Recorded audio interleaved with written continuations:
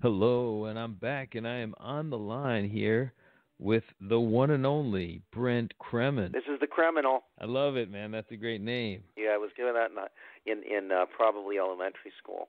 Were you a, a troubled child? And I got good grades. I actually liked school, um, but I was a horrible athlete, and I had trouble bonding with the boys. Uh, the um, girls, like in kindergarten, they tended to like me because I was considered to be sweet, but um, but I couldn't bond with the boys, and so I had to be a clown in order to get them to laugh, and that worked. After that, I was such a class clown that that I think the girls didn't like me because I was considered too much of a clown, and you know they couldn't take me seriously, and I was immature. So I got a uh, reputation for being very immature for my age. But the guys, I, I make laugh until they were crying. Thus, I was the criminal. has that continued? No, no. I mean, somebody wrote in my high school yearbook, uh, senior year, uh, at Mercer Island High School, which was a great school. Um, Barack Obama's mother went there. Uh, the um, uh, he wrote, uh, "Hey, have a you know, have a great years in college, but you might need to curb the pranks. The stuff that you do in high school will get you thrown out of college." So you went to college. Yes, I wasn't a very good student. I went to four different schools. It got took me four years to get a two-year degree, and then after I completed that, I transferred to a four-year school, the University of Washington. It took me an additional three years to complete two. So that would be a total of seven years of college to complete four, and I got about a 2.5 GPA. Why the well, change? you you don't have structure in college. You're left to your own devices. The work was more difficult. I had more issues with stamina, and my stamina has gotten worse as I've gotten older. Just mental stamina. I remember in college, uh, sitting through a two-hour class was difficult for me. Even though I really enjoyed the lecture material, that was difficult for me to maintain focus. Now I enjoy going to Torah study and I'm still, even though I enjoy it and I participate a lot and I'm considered a leader in there, I'm constantly staring at the clock. When's it over? When's it over? When's it over? And this is something that I like. I choose to get up on Saturday morning to go to Torah study, but I'm exhausted after an hour. I didn't have these issues when I was a kid. These issues happened when I became older. In high school, I did fine. My, I, I could maintain focus. I had stamina. In college, things were worse. After college, the wheels have coming off. Well, it looks like that you need a career in show business. Yeah, I've done open mic night on comedy. All I do is I just tell the truth about my life. If people laugh, great. If they cry, fine. I really don't care as long as I get a reaction. Or even if I don't get a reaction, I just do it for therapeutic reasons.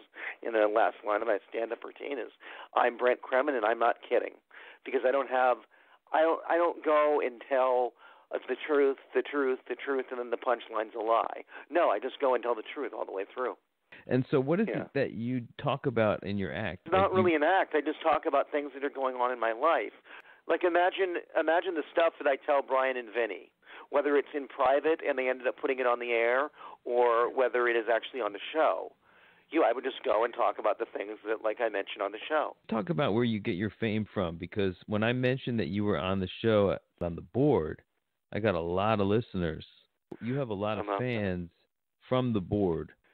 When Brian and Vinny post stuff from the Christmas show uh, that, that that that features just me, uh, there were twenty thousand views for that. You get ratings. I mean, that's that's no question. I think your dynamic with Brian is good. known Brian since he was just finishing the Youth Wrestling Federation. No, I actually would watch the Youth Wrestling Federation on public access television where he and his buddies would wrestle in the gym when they were 15, 16 years old. I would watch this when I was in college. And uh, as I'm a bit older than him, uh, and so uh, he calls me young Brent Kremen when I'm actually older than him, uh, and so I would watch that on TV, uh, and then I would go to a show at an old decrepit arena, which they later tore down the um, the uh, old uh, Seattle Center Arena, Mercer Arena, and they would have wrestling shows there dating back to the Don Owen days. And so there there was a wrestling show there, and I think a guy named Dan Adam was passing out flyers about a local wrestling hotline, and his uncle Uncle Wayne, Crazy Wayne, would make jokes about the Yeti and talk about you know the Yeti hotline. You know, just just real toilet humor, just immature stuff. And but I but but we, we, you know, he would joke about the Yeti on there, and his hotline is basically garbage. But I enjoyed listening to it. It was funny. And then later, I I, I saw the Figure Four about issue number twelve, and Craig Proper was just a guy that wrote a letter that's how it started. And I actually had a column in some early figure fours. And I actually saved the figure fours and gave them to Brian. Otherwise, he would not have them. So I'm a subscriber back, like issue number 12. And he used to live with his parents, didn't have a car, and so I'm so proud that one year, this would have been about five years ago, or maybe 10, no, it's probably 10 years ago now, shortly after he met Whitney, where he has this beautiful home that's like a mansion in Bothell, Washington. And I call it the Palatial Alvarez Estate. And I gave him a double high five, nearly knocking him over, because he has he had at the time he had a wonderful, beautiful, kind wife. I was at the wedding, and he has a beautiful home and I know where he started, and so I'm so proud of him. You're thinking that he doesn't like you, but I, I think he does. Uh, Vinny doesn't but... like me. No, Brian likes me. Vinny does not like me. Do you really think Vinny doesn't like you, or you make he him feel uncomfortable? He said a number of times he hates me. Oh well, eh, Vinny hate is not very strong hate. It's more He's not like very friendly to me, that's for sure. And he did You're get really angry at me when I simply said hello to his wife. Wow. And I was invited to Brian's wedding, wedding, and specifically banned from Vinny's wedding. So that should tell you something. Well, that's, but you still hang out with him now and then. I only hang go... out with Vinny when Brian is there. Right, of course. You're not going to hang out with him alone. I have no problems with him. I'd hang out with Vinny, but he wouldn't. Let me ask you though, with uh, regard to Vinny, is it because he has just been particularly witnessing of the more crazy moments of your life? Do you tend to act I crazy think, around I think Brian? he does not find my hijinks as amusing as Brian. I think he finds them more annoying. It's like Larry David. Some people find him annoying. Some people find him hilarious.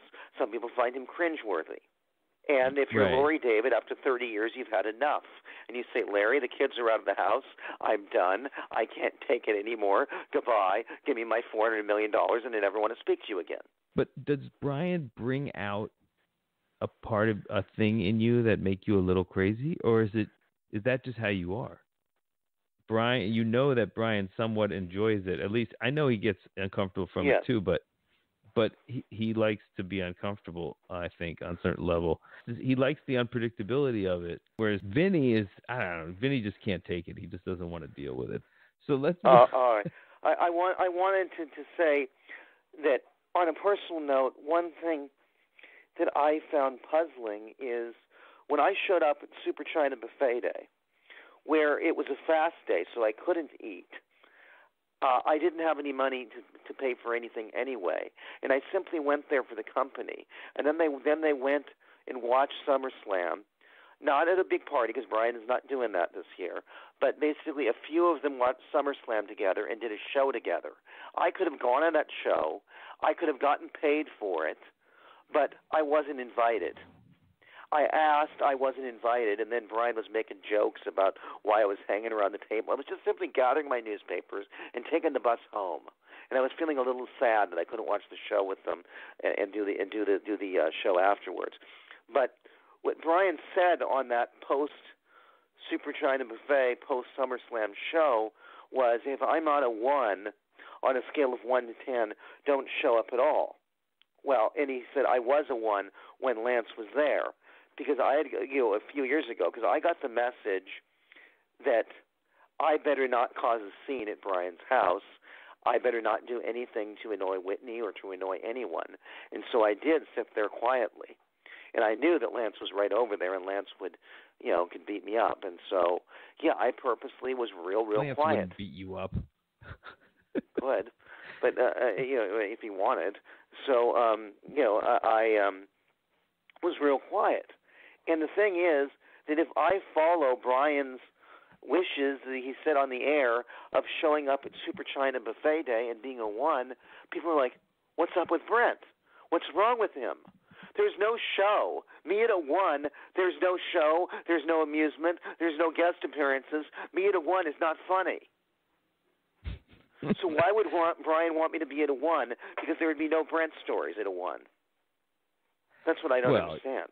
Yeah, it's a diff- it's a conundrum because you don't want to be constantly, you know, you don't want to be constantly on because then you become like Jim Carrey right? I mean, you don't want to be Jim yeah, Carrey. I, I can't be at a ten because because Bro- Vinny said he threw me out of a car when I was at a ten. But I was pro- but they said that I was probably like an eight or a nine at that dinner. I would say I was more like a seven or an eight. Tell me what you did at this dinner that made you a seven or an eight, because I'm not really understanding you. You're oh, just, just constantly yourself. making jokes, telling stories, because basically I was surrounded by delicious food. I hadn't eaten anything all day, and it was a fast day, the day that the temple was destroyed. Both temples were destroyed that day, so it's a very serious, solemn fast day. And so I'm staring at delicious food that I cannot eat. And so I had to tell stories to people to distract myself from the food. And so I was just constantly making jokes and telling stories the entire time. so you were a major 10 because you were hungry. I was probably Jesus like Christ. seven or eight. Yeah, I was hungry. I was staring at delicious food that I could not eat, and wow. watching everyone else eat.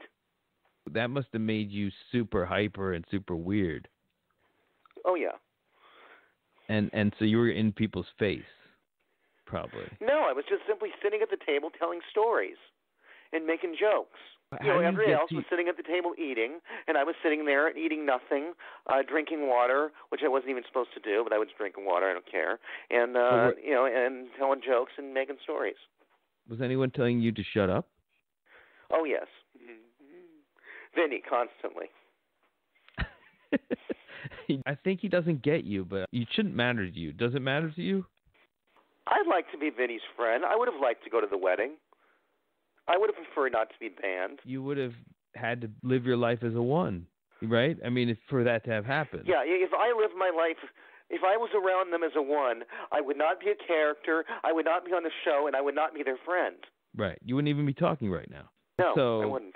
Why would Brian tell me if you're not going to be a one, don't show up at all next year? So basically, he's saying our friendship is over. Who said that?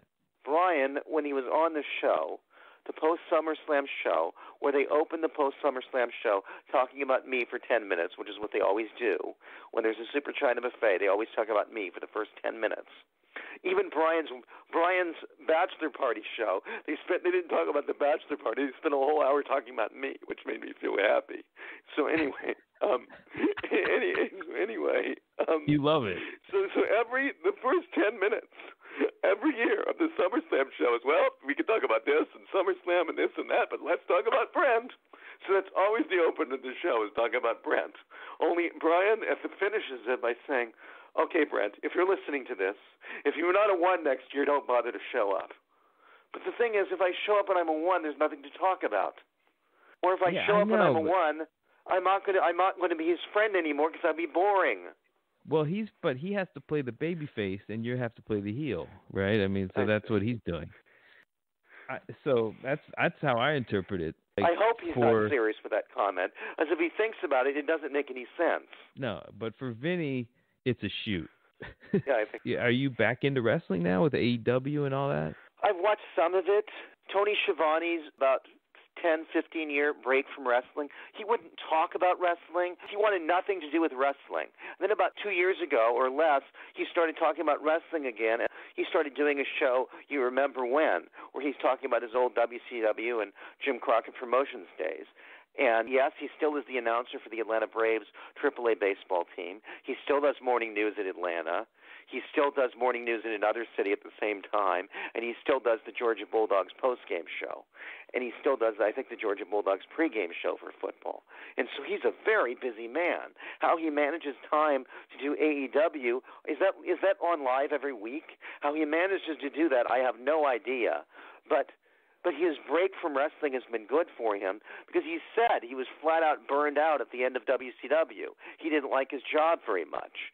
And so his break has helped him. And obviously, Jim Ross is a good announcer, although I believe if Jan Ross was, was still alive, Jim would not be announcing.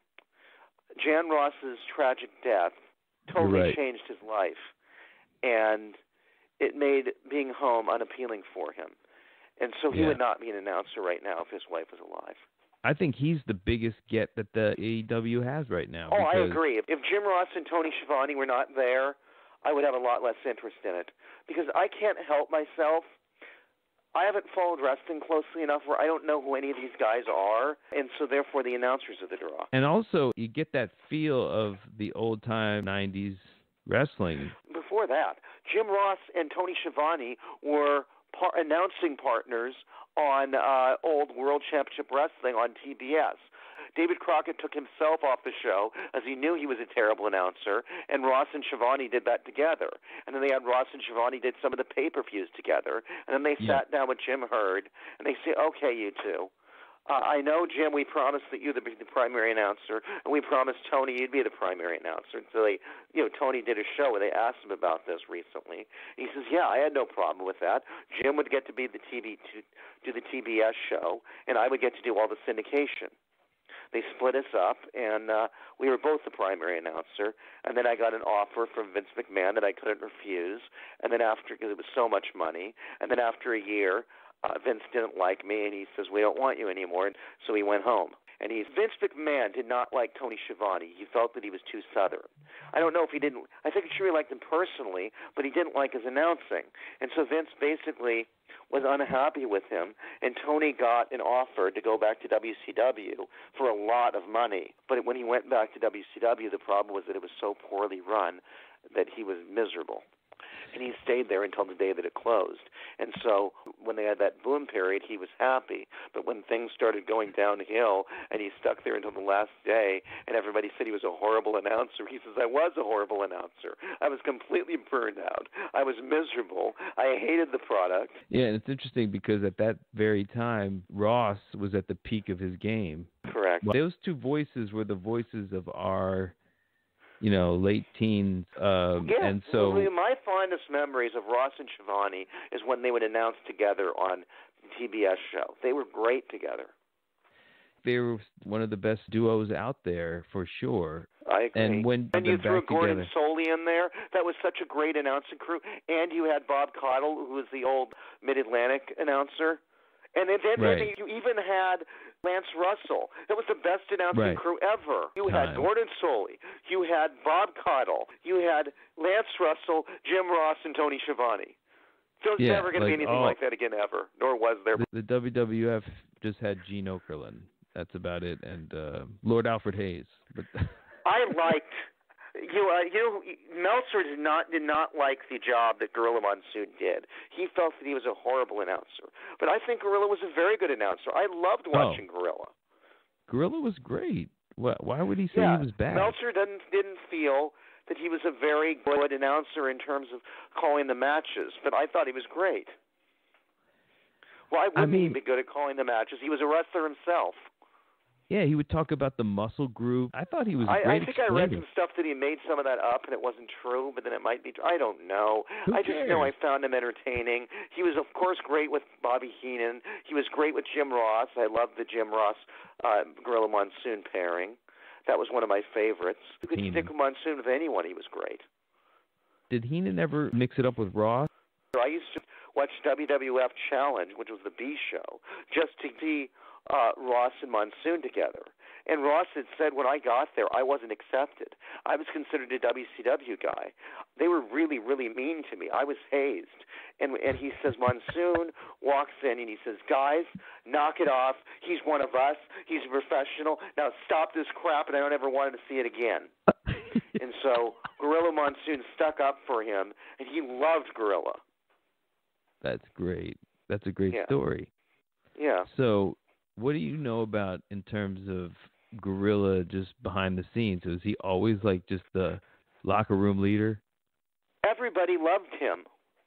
Nobody said anything bad about him. You know, he would go and and he would book the house shows.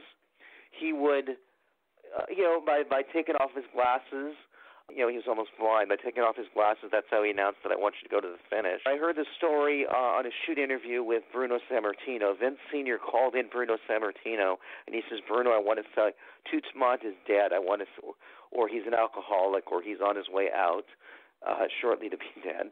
I, I, don't, I don't think Vince Senior said he was shortly to be dead, but he says, you know, I need I need to sell 50% of the promotion. Bruno, do you want it? Bruno says, no, I don't want 50% of the promotion. And so he sold 20% to Gorilla Monsoon. Phil Zacko, Willie Gilzenberg were the minority owners, and so what happened is Monsoon owned 20% of the promotion. When Vincent Kennedy McMahon bought all the partners, he promised Gorilla I think five percent of the gate at every house show. So Gorilla got quite rich after that. On that, that deal. wow. Yes, he got So- five percent of the gross of every house show that they had, and they were having three house shows a night. So Gorilla got to be very wealthy. That's great. That's So what he got is- in order to give up his share. That's that's that's some cold hard cash right there because they were booming. Yeah. I always thought he was not very impressive as a wrestler, but seeing a no, lot he of was his a matches, big he was a big lumbering guy. You know, Meltzer said that he saw him in person in a match um, in the main event, and he said that he was terrible. He ne- he Right. never got in the Observer Hall of Fame, and Meltzer was an advocate of not getting in the Observer Hall of Fame. I completely disagree with that, but the voters of the Observer Hall of Fame never put Gorilla in, not as a wrestler, not as an announcer, and not as a backstage person. do you think the the Hall of Fame rules are too strict? I think that overall the Observer Hall of Fame is is uh, is the most fair and the least political. But for whatever reason, the voters say no, and uh, Meltzer does not vote, and he does not um, have a voice. But you know, Is when he advocates that for, when he advocates for somebody not being in there, that does carry some weight. Is Junkyard Dog in there? Yeah, I'm pretty sure. I'm pretty sure he is because he was a huge star in New Orleans. He basically, you know, they, they'd say the New Orleans Saints. They say, "Who dat? Who dat? Who dat going to beat that dog?" Well, that came. I mean, who dat going to beat them Saints? It was originally who dat going to beat that dog because he used to sell out the New Orleans Superdome. Wow, yeah, so no yeah, idea. yeah, he's definitely in there because he was a huge star in, in New Orleans. He was a huge star for Mid South. Bill Watts. Yeah, and like Jerry Lawler's in there. The, the, the number one stars from the territories are all in there. Junkyard Dog was the number one star from Watts' territory. It took Sting to come to the WWE to get in there, though. I was against him going to the WWE as I knew that they were just going to use it to job him. I don't understand what the point of him going in there and getting jobbed to Triple H was. He should have never gone, and I thought that from the beginning. Hey, get the payday. You would have taken Yeah, I suppose it's just about the pay. He he doesn't care if he just goes there and does jobs. I guess it was just about the money for him. When you have the face paint, you can go a lot longer than than other wrestlers. True. And he, and he never had that big match with the Undertaker. No, eh, Paul Levesque just wanted to beat up Sting. Why he felt the need to do that, I don't know. They don't Some call it the game for nothing. What is the ultimate political move? Boss's wife. Ultimate game. So yeah, Yes. he's all game. And he's going to be the one that's going to take over everything. I would not count out Stephanie, and I would not count out Shane coming back either, because when Shane sold all that stock, and then he had some of his own companies, the reason why Shane quit as an executive was he was trying to save the relationship with his father, as he and his father had business differences, and uh, and he didn't want it to hurt their personal relationship, so that's why he quit. But if his father's dead, there's no reason he won't come back. But he- does he have even ownership stake in it at this point? Yeah, he has some stock, but he doesn't have much. Yeah, nothing controlling. But what's going to happen with Vince's stock? He'll probably leave half for Shane and half for Stephanie. If Linda's still alive, she'll get all of it. And then when Linda's dead, uh, when Linda's dead, she'll give it to the children. Yeah, but who's going to run day to day the way Vince does? Well, I believe that Shane, Marissa, and everybody forgets about Marissa, Stephanie, and Paul will run it. Already, one of Paul and Stephanie's daughters is 14, and she's already training to be a wrestler. You know what will happen when the minute that Vince stops controlling WWE is there going to be a lot of his stupid ideas are going to go away. And well, I think that's true. All this, ha, all this, you know, th- th- this humor where Vince was an announcer, he'd say, "Ha ha ha!" All that stuff's going to be gone. All that Pat Patterson um, juvenile humor is going to be gone. Yeah, it's funny because he's always tried to outlive the juvenileness of pro wrestling, but he's one of the major creators of that image. Yes, he created it. I mean, the the other promotions, and even his father's promotion, it was it was it was designed for non-college educated men. That was their audience, non-college educated blue collar men with blood and guts. That's who the audience was. Yeah. And Vince decides to to have clowns throwing pies in Jeff Jarrett's face. Because everybody talks about how the ad revenue for pro wrestling is so paltry because they assume that the people who are watching it don't have any money uh, because they're they're low class people. Um, and and and he's probably drove it down in that image. I mean, because if you look at like the mid south stuff, correct. I mean, the, and uh, Trish Stratus is barking like a dog is not going to help with advertisers. right? Yeah, I mean that that that that that clip might have cost Linda a Senate job because both of her political opponents would play that clip in, in their ads. That that was kind of hot though. That clip, I thought. But um, no, I know I'm kidding. you, don't think that Blumenthal and uh, who's the other senator, Chris Christopher Hayes? You don't think they used that in, in their campaign? I think they all did, and I think they should have. Now, Linda McMahon, I think she quit the Trump administration, right? She's no That's longer correct. in it. Still like, personal friends with Donald Trump. They have been ever since he hosted WrestleMania four and five at Trump Plaza. Trump Plaza Hotel and Casino. WrestleMania four. Remember, remember when Vince plugged those on old primetime wrestling? Trump hosted WrestleMania four and five at Trump Plaza Hotel and Casino, and they had Gorilla and Bobby do primetime wrestling for there, and Gorilla was at the blackjack tables, which I actually bet was a shoot. That's how the friendship developed. Wasn't their highest pay per view number with the one with Trump, right? Because the one they did later on Trump. yeah, yeah. Years years later, when Trump came back as a TV character as a heel, back then he was just sort of hosting the show and he would sit in the audience. But when he came back as a TV character, Yeah. yeah, that that had the most buys of any WrestleMania at that point. Yes. because they were going to shave Trump's head because people are fascinated about Trump's hair. So that right. I think it was but we like- knew that wasn't going to happen. It was the ultimate hair versus hair match. Yes, but we knew that Vince would lose his hair because he, as he owns the company, and he Vince is famous in wrestling, but he's not famous worldwide. We knew Donald Trump was not going to get shaved bald. You know what I, I realized though about Vince is the reason why he wants to turn wrestling into a farce is because he can control it. When you have a promotion that's based on star power, those stars can walk. Instead, you you make this carnival atmosphere where everybody's just a little monkey in your troupe. Yeah, Uh, the stars can walk, but when they had the the old NWA, all the promoters were like buddies with each other, and they would trade. And whenever somebody was was not over anymore, or needed a break, or wanted to, you know, or wanted to go somewhere because of family or whatever reason, uh, they would they would trade them around. And so when when when when somebody got burned out in one territory, they would just go to another. And then Yeah. there was Sam Muchnick, who was the president of of the NWA, and he didn't want to do a territory. He just did St. Louis, so he would bring in the stars from all around the world.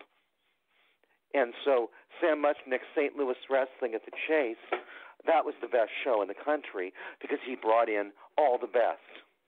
And he also determined who the champion was. He did Sam, the, the, whoever the NWA champion was. Sam Muchnick basically had the ultimate call. There was a time I remember when you were very much smitten with one Missy Hyatt.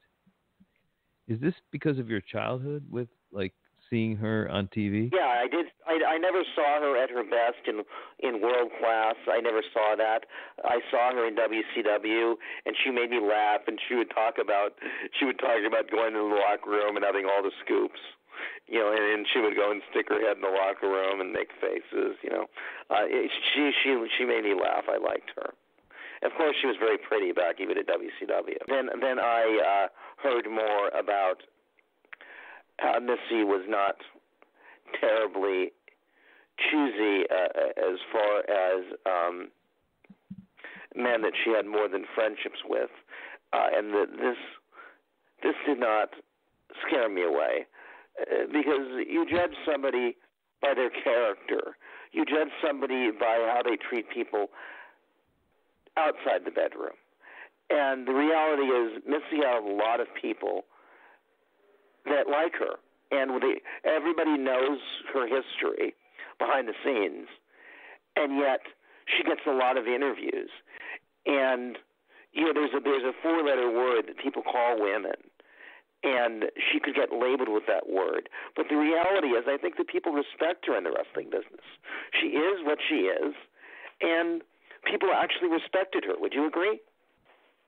Yeah, I think she did it her way, and she should be commended for that.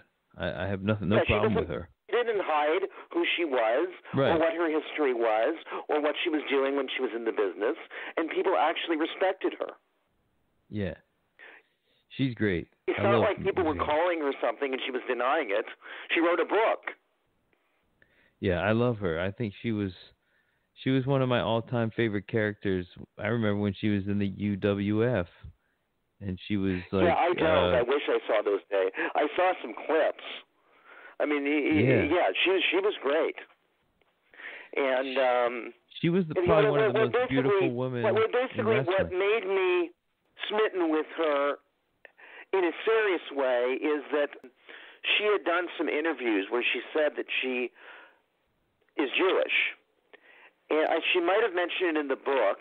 We know John Tatum, her her first serious boyfriend, is Jewish, and we know that um, we know that Missy wrote a song, a version of the Hanukkah song by Adam Sandler. Only she put all wrestlers in it, and so you can somehow find that song. And so she put herself in the song. So Missy, when she said that she's a Scientologist, that was a rib. That was simply designed to get me not interested, because Missy, at this point, I would not, I would have no interest in, other than the fact that she's Jewish. And Missy realizes this. She's a smart woman, and so she came up with a gimmick that she was a Scientologist just to get me uninterested. was she afraid of you? No, I just think that Missy has no interest in me, and I figured that the way that she could, the best way that she could get a, get me away from her, you know, in terms of being being being interested in her, is to simply tell me that that she's a sign. Scientologist. Now, if that was actually true, which it isn't, it was a game designed to get me away. But if that was true, you're, she's correct. I would not be interested in her. when have you hung out with her though in person? Never, because when I was in Dallas, I didn't know that she was. I did not know that she had her retirement show. Uh, I didn't know this, and so I just figured that I would run into her, uh, or somebody could get her that necklace at the at the Hall of Fame um, event because I because as when she was in world class, she had interactions with the Freebirds, and she was good friends with Michael Hayes, according to her book, as at the time they were. And so I figured she would want to see the Freebirds get inducted. And she wasn't there. She was actually doing her retirement show, and it, turned out that you know Missy and uh, Craig and Brian and Vinny all went with Missy Hyatt to Dealey Plaza, and they actually went out with Missy Hyatt for a while, and I wasn't even told about it. Wow.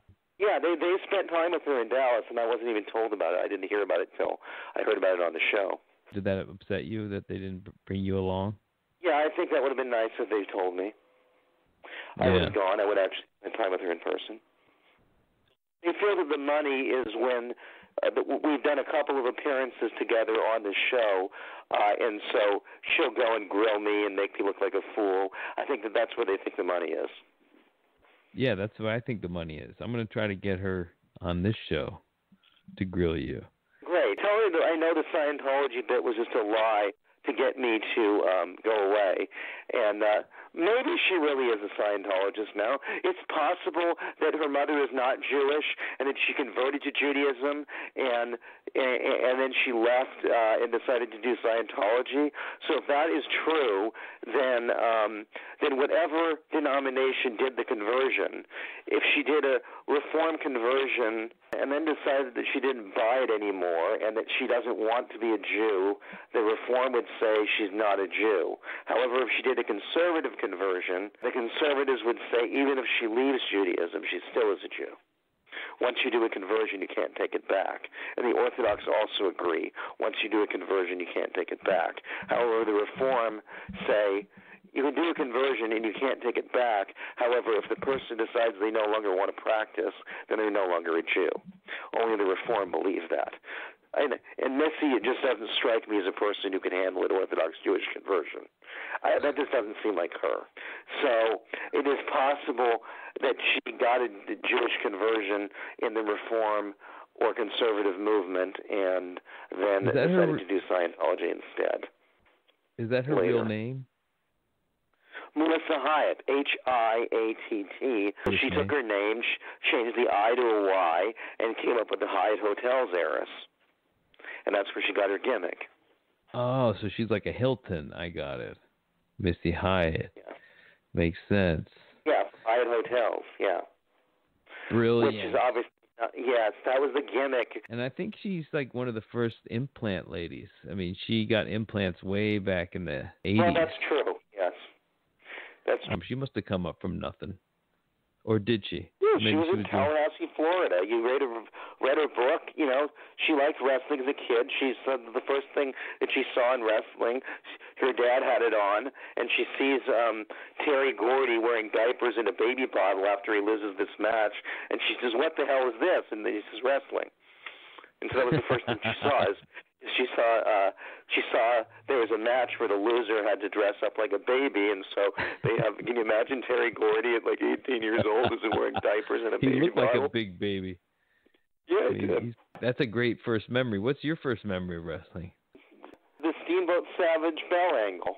That was very shocking and it, it brought Bruno Sammartino out from retirement. According to Bruno, Hogan was not selling out the shows. He was not succeeding as far as as the champion. Uh, he was not selling out the shows, and so and so Vince wanted Bruno back to sell out the shows. And so that's Bruno didn't want to come back. He knew that he was terrible in the ring. He knew he was old and in pain. He didn't want to do it. He didn't want because he knew that his matches weren't very good, and he didn't want to show the fans this. But Vince Vince says, "Well, Bruno, if you come back, I'll hire your son." And whenever, whenever Bruno didn't want to do something, then his son would get depushed. And whenever Bruno did a show that Vince wanted, his son would get repushed. And then when Bruno quit, they fired David, of course. Because it was all manipulated in order to get Bruno back because Hogan wasn't selling out the shows. I mean, I, he I says, can believe it. Bruno says, I sold out the garden. Hogan was there the month before and he didn't sell it out. They bring me in and, they, and when we sell it out. Him against Savage. So the other promoters and other wrestlers would always knock uh, the the uh, Worldwide Wrestling Federation because they say that's nothing. They do Madison Square Garden once a month. We have to run the Memphis Coliseum once a week. It's not very difficult to book a show once a month. You know, that's that's 12 shows a year. We have to do 52 shows a year. We sell out the Mid South Coliseum half the time, or a quarter of the time we had as good average attendance in a much smaller town, or at least close to it, than than than they have in New York, and we had to have a show weekly. So that's what the other promoters would say. What was your opinion of Hogan as a top star? Well, you know, I, I started watching then, and he put on a good show.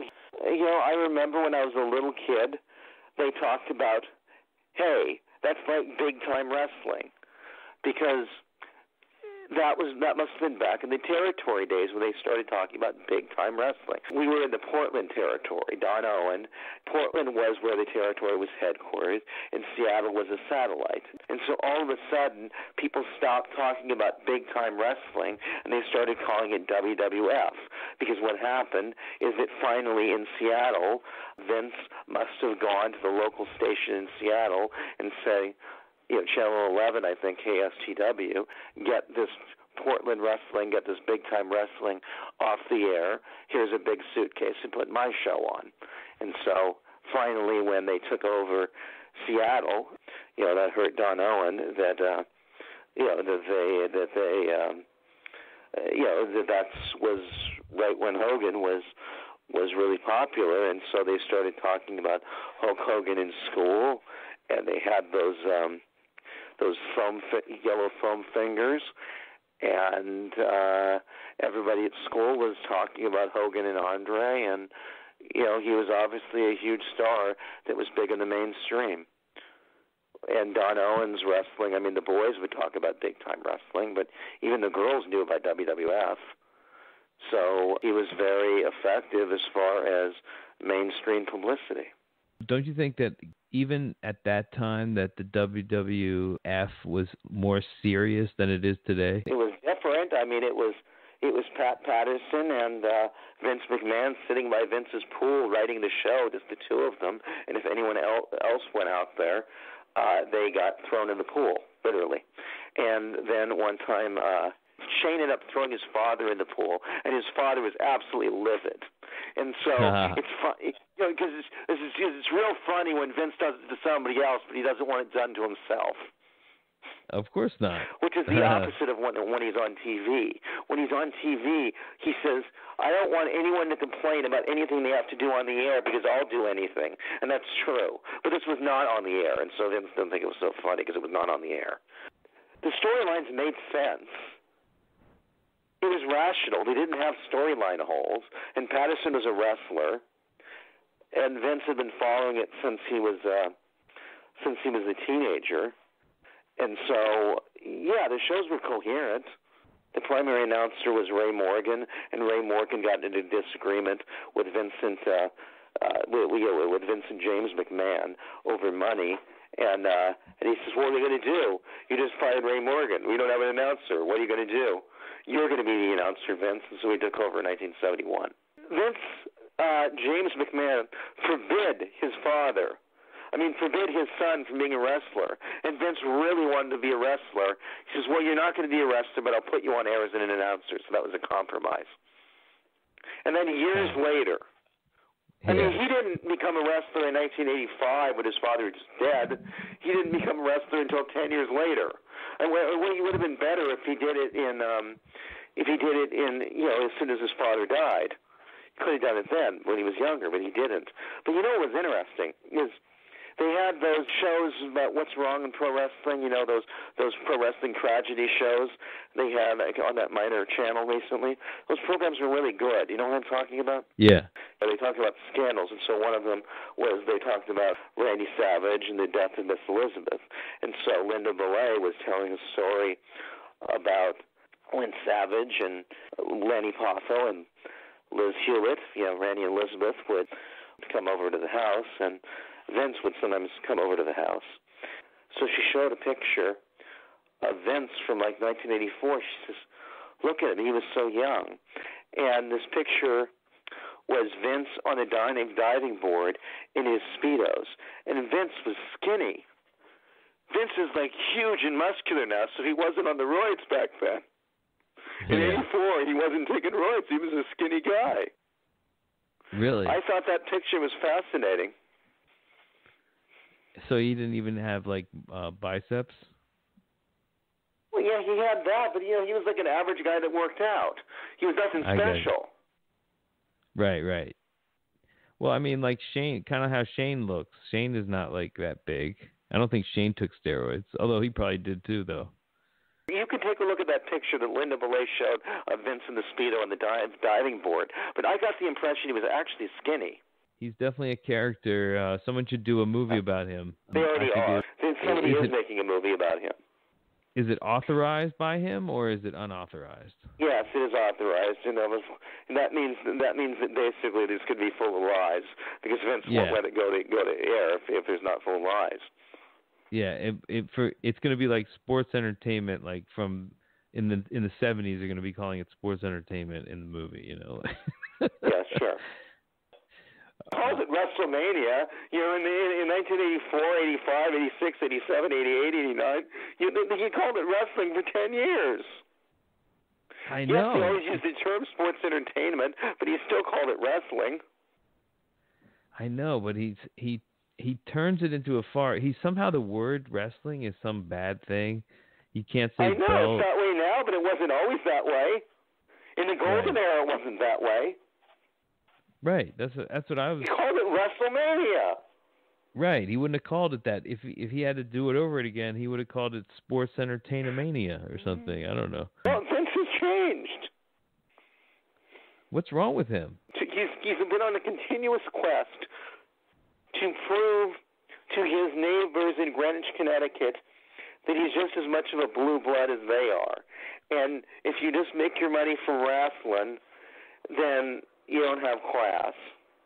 And did you ever watch the uh, the, the old music music video from the original Slammy Awards in 1987, Stand Back?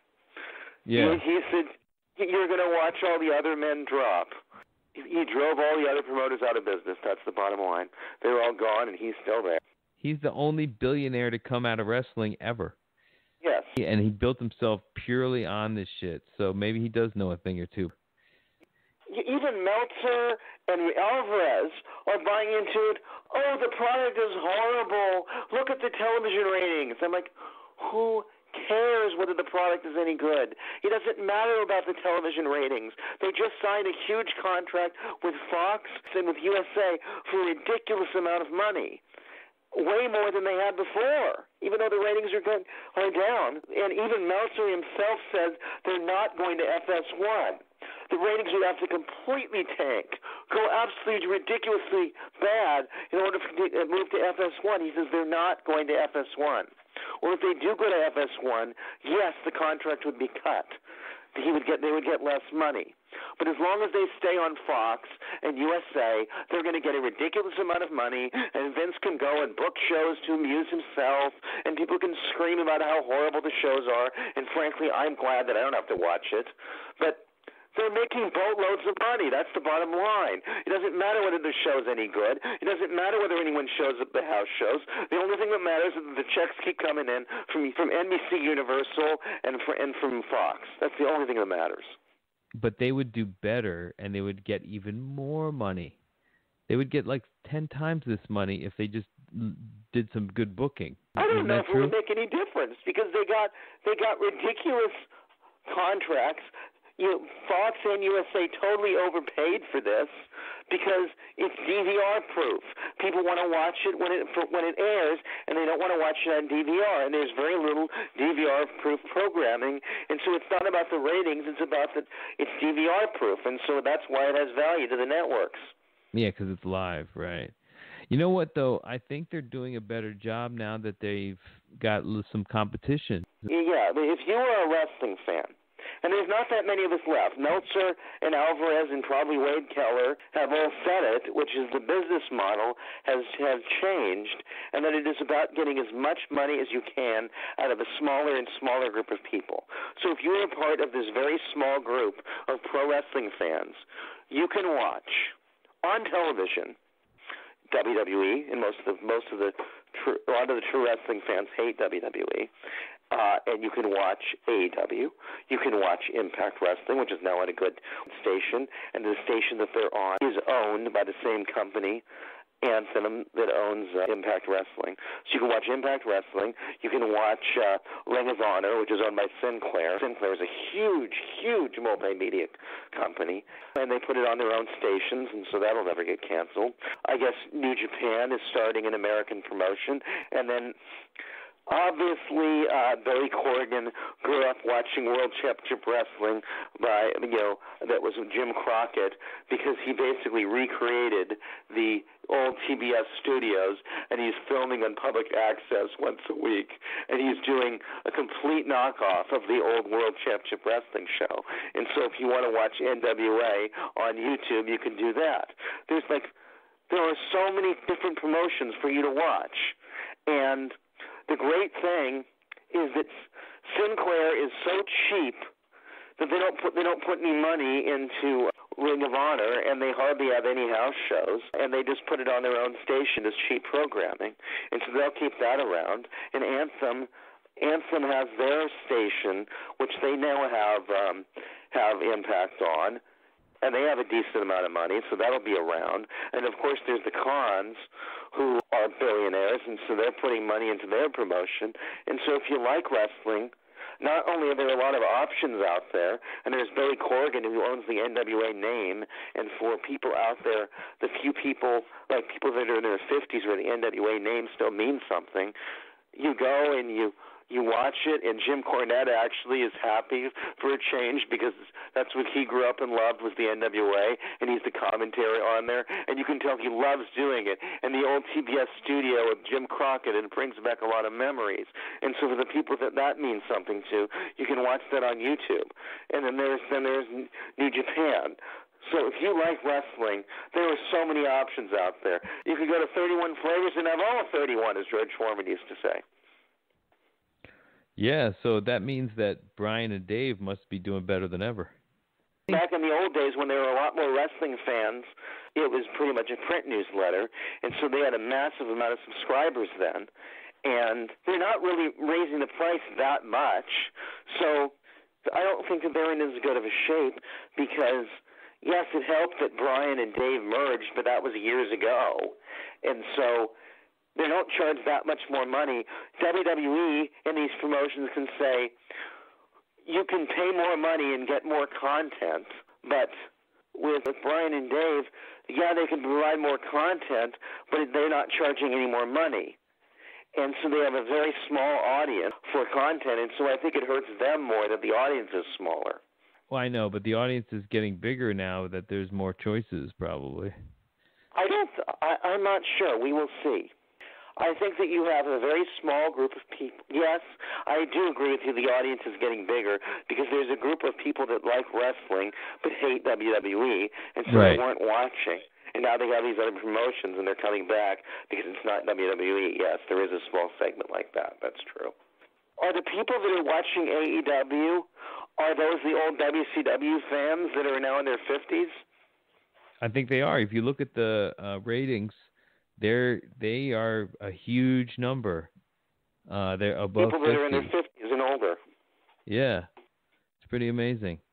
They're all well, back. that's interesting because the because the people that sell advertising have no interest in people in their fifties. I, I know, but they also are attracting some young people too. Oh, we're about to run out of time here. So Tony you, Schiavone would say, "We're out of time." If you have any questions for Brent, just put Brent in the subject line and email Logan2012 at yahoo.com. Well, as um, John McLaughlin would say, bye bye. See you later, buddy. So that was Brent, and I'll catch up with him on the other side of reality. Thanks, everybody, for listening. We'll talk soon.